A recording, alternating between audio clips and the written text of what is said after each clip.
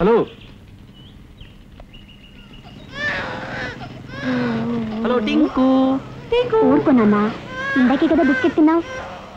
నువ్వు తినడం కాకుండా పక్కింటి పిల్లకు కూడా తినిపించావు. అన్ని తండ్రి బుద్ధులు వస్తున్నాయి. పోలికి ఎక్కడికి పోతుందిలే?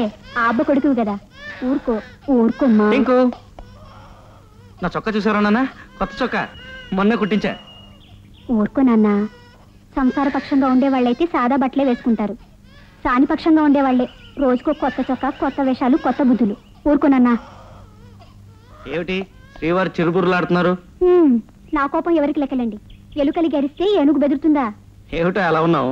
ఇలా ఇలా నాకేసి చూడు. హాయిగా నా భుజం మీద ఇక్కడ తలవాల్చి నేను హ్యాపీగా ఫీల్ అవుతాను. నన్ను ముట్టుకోకండి. ఒళ్ళు మండిపోతుంది. ఏ జ్వరం వచ్చిందా? ఆ ఏ పెద్దమ్మ పుని నన్ను మింగేసినా బాగుండేది. అయ్యో రాత అంత అదృష్టం కూడానా నాకు? ఏడోకు షర్ట్ బాగా కుట్టాడు కదా?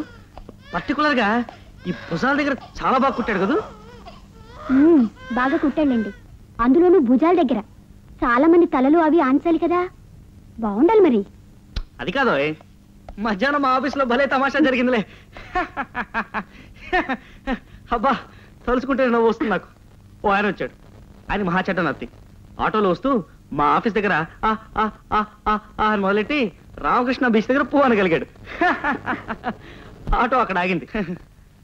జోకేశారా మీ జోకు మీ నాన్నగారి తిట్టులా ఉంది.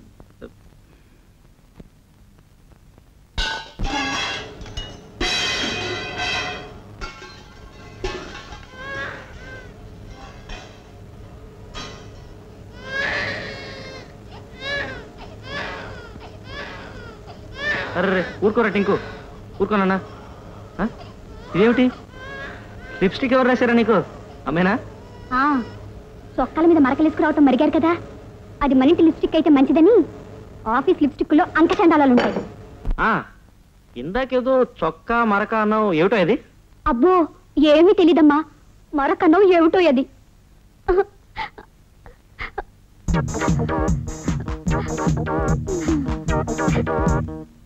అసలు అసలు తప్పంతా నాదిలేరా టింకు?